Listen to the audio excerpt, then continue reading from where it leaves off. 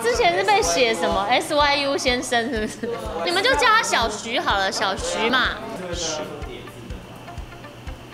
不会，小小。啊！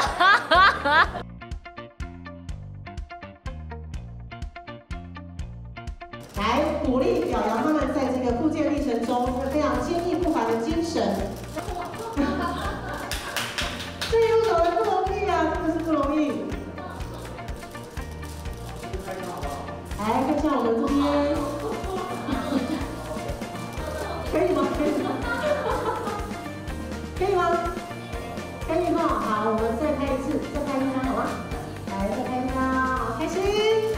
来吧。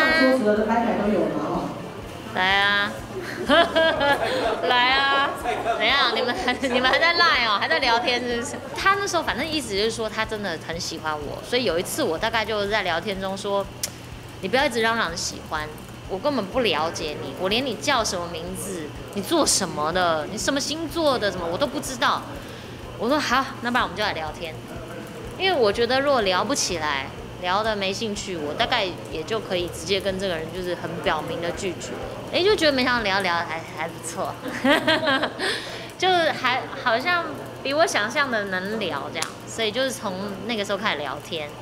那一直到我拍电影头期的那段期间，他就蛮常来探班，就是其实也不是探班，他就来接我。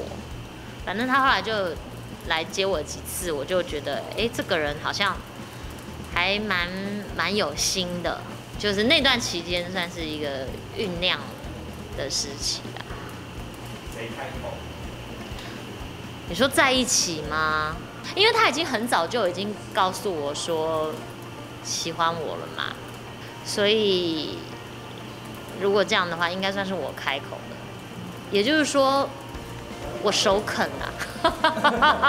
然后我在拍戏的时候当然很累，所以我那时候就一心期待说，我拍完戏之后我要来一个小旅行，然后我就就又邀请他嘛，哎，那你要不要一起去旅行？那他就同意，然后同意之下，然后他他行程都是他安排的，然后我们在看到呃就是日出的那一刹那，我真的是。哭疯了，然后对，重点是他也哭了，他也觉得很感动，所以我就觉得蛮妙的，就是找到一个跟我一样也很容易感动，然后也很爱哭的人。